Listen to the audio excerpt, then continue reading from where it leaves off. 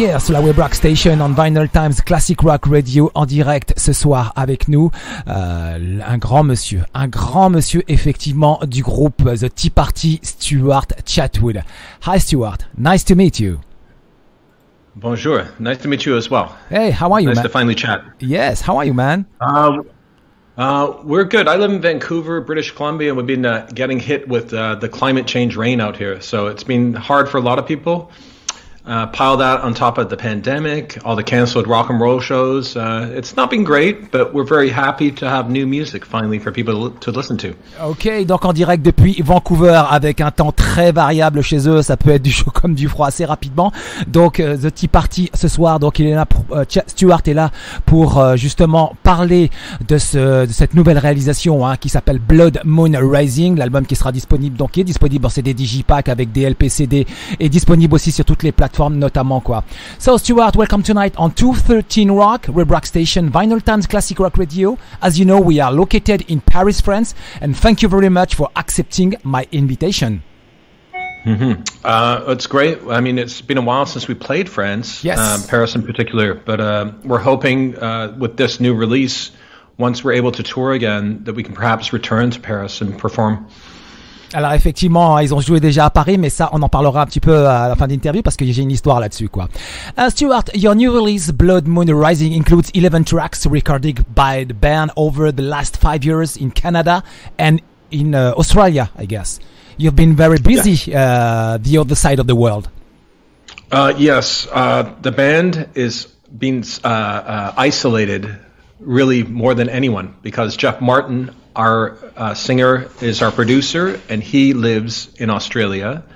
I live in Vancouver, and our drummer lives in Detroit. So being apart is something that we're used to. However, we do always like to meet up in person to write and record.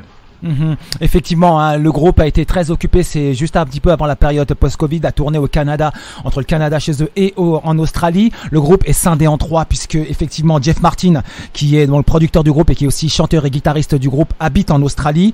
Euh, donc Stuart, lui, qui est du côté de Vancouver et euh, leur batteur euh, Jeff, notamment, qui habite du côté de Detroit, quoi. And um, you, I said you are, you've been very, very busy on the other side of the world because um, I understand better the name of the late uh, of your last album, The Ocean at the End.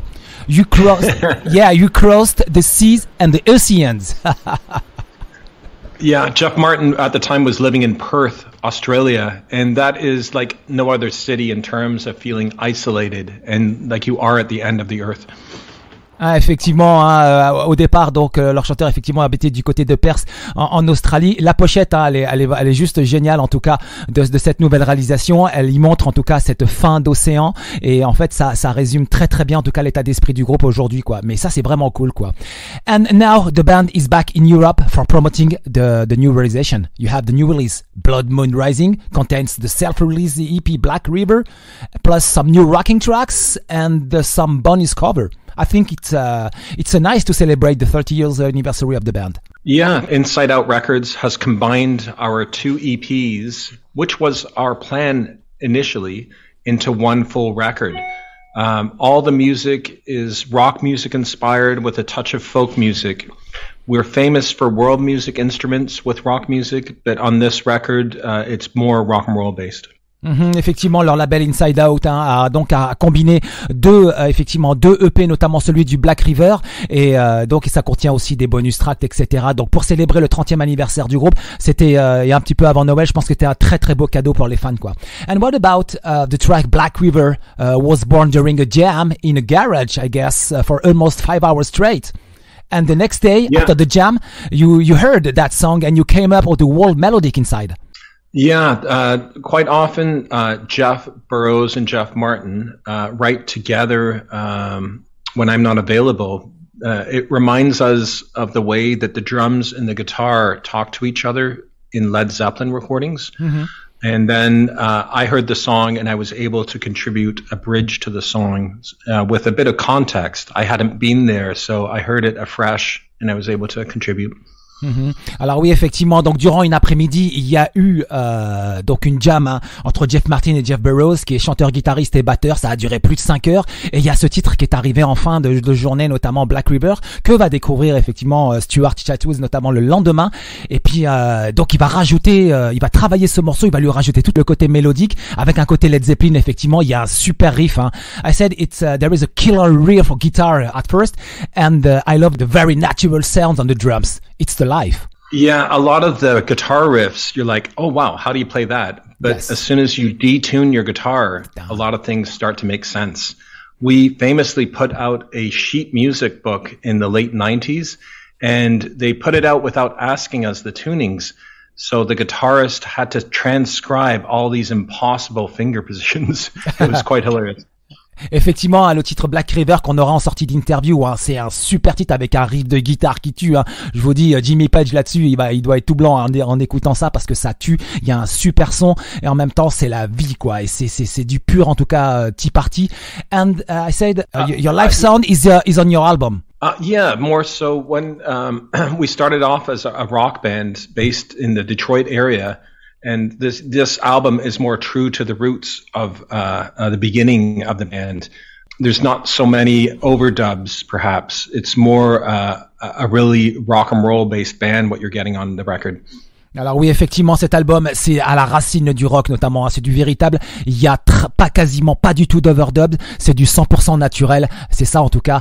En direct ce soir, Stuart Chatwoods, notamment The Tea Party, qui vient nous présenter Blood Mode Rising. L'album, voici le track listing Black River, Way Way Down, Sun, euh, Sun Shower, So Careless, Our Love, Hole in My Heart, Shelter, Summertime, avec bien sûr la reprise de Led Zeppelin, Out on the Title, c'est la Led Zeppelin cover, The Beautiful, Blood Mode Rising, ça c'est une chanson tribute à leur ingé- ingénieur du son qu'on va on va y arriver d'ici quelques instants, qui est surnommé aussi le What's He Song, avec notamment sur les éditions limitées, vous avez droit à deux euh, bonus, euh, deux bonus, c'est-à-dire une reprise de Joy Division Isolation, ainsi que Everyday Is Like Sunday de Morrissey, ça c'est une tribute, et Way Way Down en version live.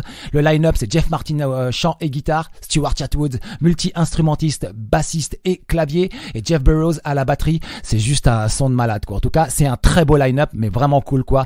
And um, the album was produced by Mr. Jeff Martin, your singer and your guitar player. Yeah, started. We had nine record companies from America try to sign us, and we turned everyone down to work with EMI in Canada because they let us produce ourselves. We saw so many young bands get signed, and then what would happen is they would try to turn them into Aerosmith or Bon Jovi or whatever rock and roll was popular on the radio, and they lost their identity. And we had such a unique identity, we did not want to lose that. So self production was important. Ah oui, effectivement. Alors, euh, lorsqu'ils ont démarré, euh, donc ce, ce- ce- concernant cette nouvelle réalisation, ils avaient neuf labels. Il y avait neuf labels aux États-Unis et des gros labels qui voulaient les signer, qui voulaient aussi imposer leurs producteurs. hein. Et eux, c'est pas du tout leur euh, leur truc. Ils ont fait confiance à leurs chanteurs pour faire ce travail et ils l'ont. Ils, ils ont vraiment eu raison. Quoi. Jeff Martin a fait un boulot excellent. Ça, le- la- le- tous les titres vivent en tout cas. C'est du son rock. Il y a pas beaucoup d'overdub. Il l'a dit. C'est du 100% et c'est très très bon ça. And um, what about the track uh, Blood Moon Rising? Is dedicated to your engine to your sound engineer John Watt. His soul went to the heaven. uh, John Watt, we met him in uh, 1991 at a heavy metal bar in Toronto, and he didn't like us initially. okay.